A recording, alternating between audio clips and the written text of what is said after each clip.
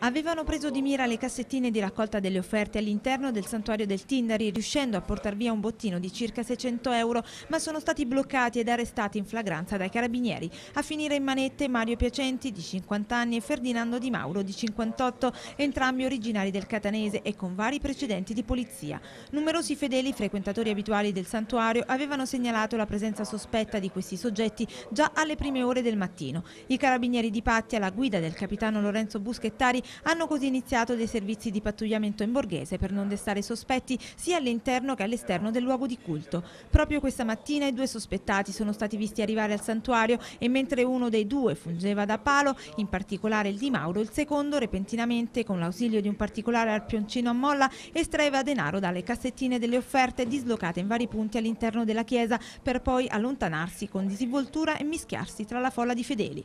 Una volta visitate tutte le cassette, i due sono usciti dal santuario ed hanno raggiunto la loro vettura lasciata nel parcheggio per i visitatori a 300 metri di distanza.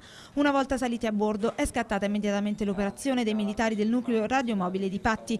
Una volta bloccati i carabinieri hanno proceduto alla perquisizione personale e veicolare. A bordo dell'autovettura, occultati sotto il tappetino di guida, i militari hanno rinvenuto circa 600 euro, bottino del colpo, mentre nascosti nel cofano posteriore i carabinieri hanno ritrovato particolari attrezzi utilizzati per i furti, un arpioncino a molla del nastro biadesivo e due strumenti metri metallici appositamente piegati per far aderire al meglio il nastro.